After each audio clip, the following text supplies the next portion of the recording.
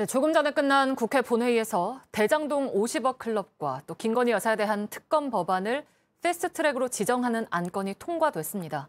국민의힘이 반발해서 본회의장을 퇴장한 가운데 야당 주도로 처리가 됐는데요. 국회 연결해 보죠. 자, 하예빈 기자, 이 패스트트랙으로 지정을 하는데 최소 180석이 필요한데 정족수를 채운 거네요.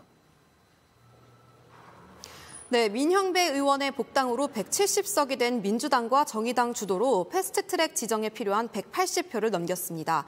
패스트트랙으로 지정된 두 가지 특검 법안은 국회 소관 상임위의 심사 최대 180일과 본회의 숙려 기간 60일을 거쳐야 해서 처리까지는 최장 80, 180일, 최장 8개월 정도가 걸릴 걸로 보입니다. 늦어도 12월 말 본회의에서는 표결이 이뤄질 전망인데요. 국민의힘은 대통령에게 거부권 행사를 건의하겠다는 뜻을 내비쳤습니다.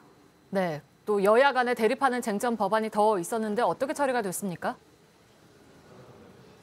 네, 대표적인 것이 방송법 개정안인데요. 공영방송의 지배구조를 바꾸는 내용이 담겼습니다.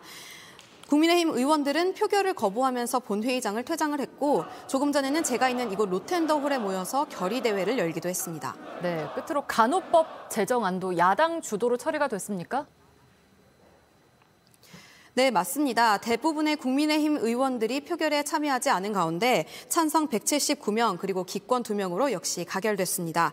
간호법 제정안은 현행 의료법에서 간호 관련 내용을 분리하는 게 핵심입니다.